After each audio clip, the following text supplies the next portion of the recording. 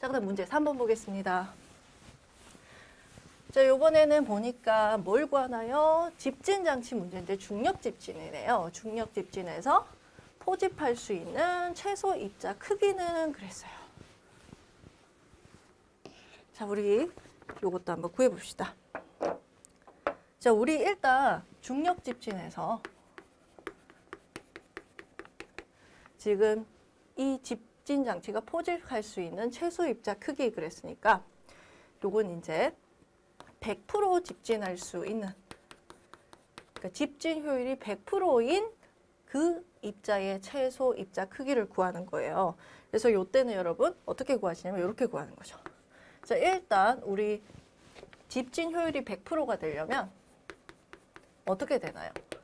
침강 속도보다 침강 속도랑 그 다음에 우리 Q per A 표면 부하율을 비교했을 때 서로 같거나 침강 속도가 더 크면은 집진율이 100%예요. 그래서 이때는 100%인 최소 입자라고 했기 때문에 이게 서로 같을 때가 집진율이 이제 100%인 최소 입자가 됩니다. 그래서 요때에 뭘 찾아주시면 되냐면 네, 우리 최소 입격 여기 나와 있는 D 미니트를 찾아주시면 돼요. 자, 그럼 어떻게 구하냐? 자, 일단 식은 이렇게 구했어요. 자, 그러면은 이 VG가 뭔가요? 우리 스토크식을 사용하면 18분의 D의 제곱. 그 다음에 입자 밀도 빼기 공기 밀도. 그 다음에 중력 가 속도 G 이렇게 되죠. 자, 이 값이 이제 표면 부하라고 같으면 되는 거예요. 그래서 그때에 뭘 찾아주시면 돼요? 얘를 찾아주시면 되는 겁니다. 얘가 우리가 구하는 100% 집진 가능한 최소 입자의 크기가 되는 거예요. 자, 그러면 지금 나와 있는 거 한번 확인해 볼까요? 보다 자, 높이 나와 있고요. 길이 나와 있고요. 그 다음에 가스 유속 나와 있네요. 그 다음에 지금 먼지의 밀도 나와 있어요. 이거 그러니까 먼지의 밀도니까 입자 밀도가 되겠죠. 자, 그 다음 점성 계수 나와 있어요. 점성 계수. 그 다음 온도 나와 있고. 그 이 25도씨 온도에서 점성 계수 값이 나와 있네요. 자, 그리고 공기 밀도는 무시한다 그랬으니까 공기의 밀도는 0으로 보시면 됩니다. 무시하기 때문에. 자, 그러면 요때 이제 그러면 우리가 여기 나와 있는 걸 가지고 필요한 거에 넣으려고 하니까 지금 일단 요 공기 밀도랑 입자 밀도 점성 계수 여기 나와 있고요. 지금 Q랑 A 값은 어때요? A는 구할 수 있는데 Q는 일단은 여러분 여기에 있는 거를 우리가 조금 보완을 해야 Q per A를 구할 수 있겠죠. 자, 그럼 여기 한번 볼게요. 자, 제가 요 신강실을 한번 그려보겠습니다. 자, 높이가 5m, 길이가 10m, 침갈실내 가스 유속이 1.4m per sec. 이렇게 돼 있대요, 지금. 그죠? 높이, 길이 나와 있네요. 자, 그러면은 우리가 지금 구하고 싶은 거는 Q per A예요. 자, 우리 연속 방정식 이용하면 Q는 VA예요. 그죠? 근데 요때 VA는 어떤 VA냐? 자, 요 유속이 어디를 들어가나요? 여기 요 면적을 들어가거든요. 그럼 여기의 면적은 얼마예요? 자, 높이 5m. 그죠? 높이. 높이 H 곱하기 요 폭이 되겠네요. 폭. 그죠? 그래서 B라고 요 폭을 폭은 일단 안 주어졌으니까 제가 B라고 쓰겠습니다.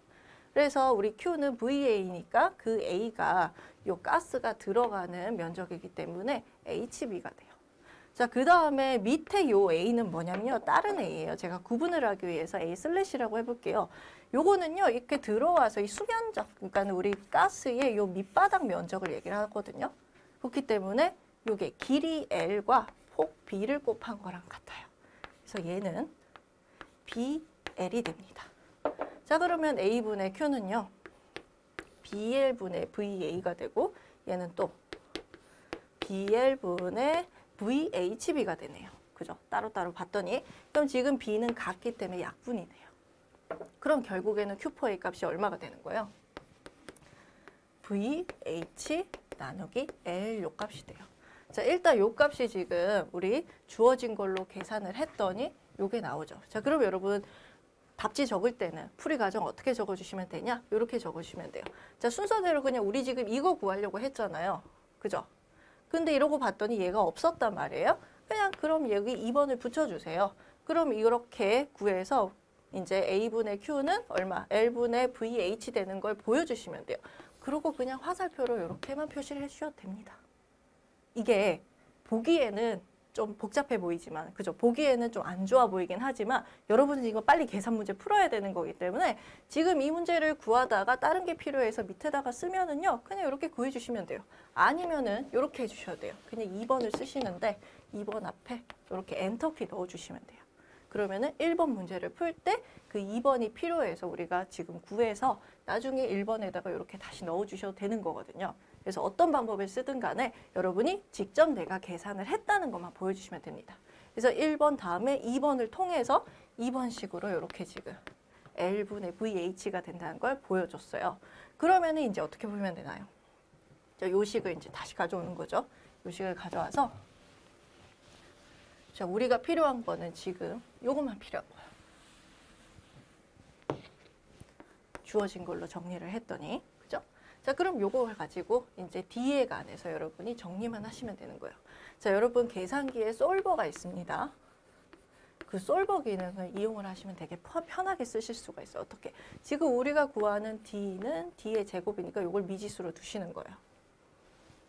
자, 그 다음 나머지는 그냥 이제 숫자만 넣어주시면 되는데 중요한 거는요. 넣는 단위는 킬로그램, 미터, 세크가 들어갈 수 있도록 변형해서 넣어주시면 됩니다. 자, 먼저 지금 밀도 볼게요. 자, 이게 입자 밀도가 지금 얼마라 그랬냐면 1g per cm라고 했어요.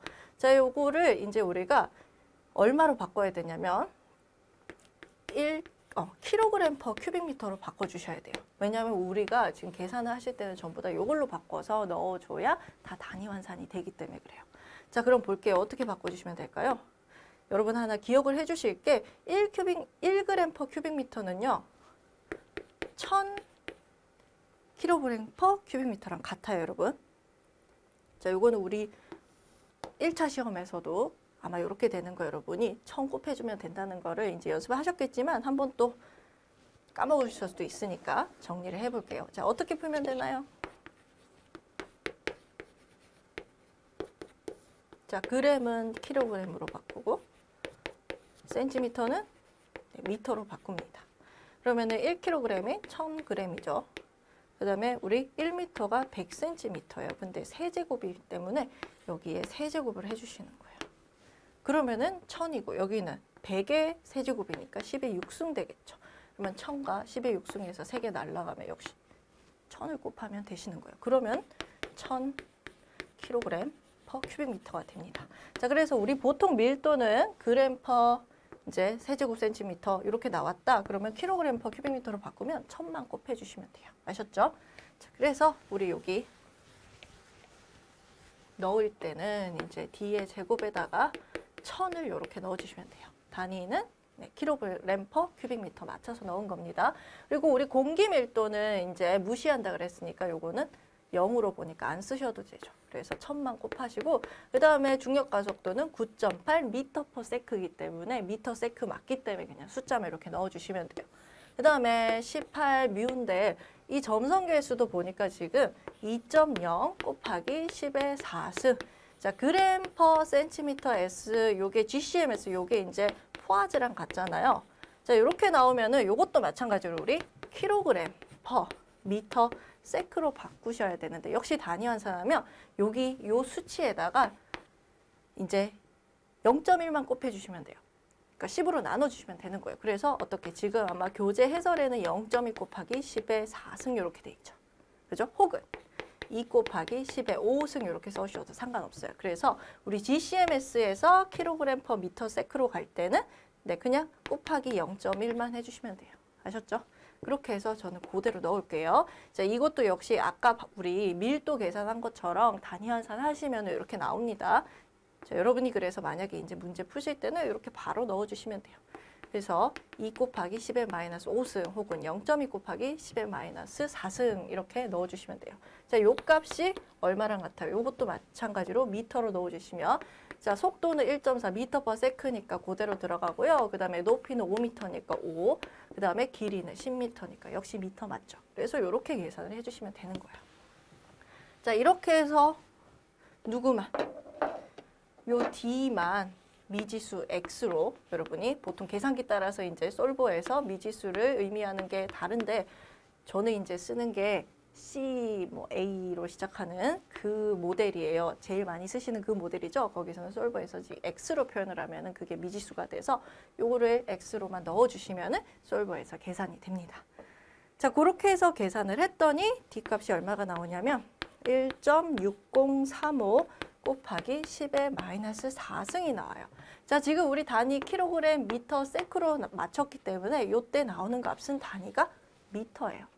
그러면 지금 여기 보니까 입경 단위 뭐로? 마이크로미터로 지금 나와 있잖아요. 그래서 미터를 마이크로미터로 바꿔줘야 되겠죠. 그러니까 1미터는 몇 마이크로미터인가요? 마이크로가 10의 마이너스 6승이기 때문에 10의 6승을 곱해주시면 1하고 같아요. 그래서 10의 6승 마이크로미터랑 같기 때문에 이렇게 계산하시면 얼마가 돼요? 1. 어, 160.356 마이크로미터가 됩니다. 자, 이것도 지금 보시면은 뒤로 쭉 나오거든요. 그죠? 356이 아니고 여기 160. 어, 356 이렇게 나오네요. 그러면은 이것도 계산기로 계산하시면 주르륵 연결이 될 거예요. 근데 그러면 어디서 정답을 적으실 때는 소수점 셋째 자리에서 반올림해서 둘째 자리만 나타내시는 거죠. 그래서 정답란에다가 적으실 때 160.36이 이제 6이 되는 거죠. 반올림해서. 그 다음에 여기도 지금 단위가 주어져 있기 때문에 괄로 치고 마이크로 미터 이렇게 적어 주시면 되시겠어요. 자, 제가 지금 첫 시간이라서 엄청 자세하게 설명을 드리는 거예요. 여러분이 좀 이제 기출 문제로 여러분 연습을 하시면서 익숙해지시면 저도 이제 풀이할 때는 이렇게 이미 앞에서 얘기한 거는 이제 좀 생략해서 좀 더 빨리 나가도록 하겠습니다.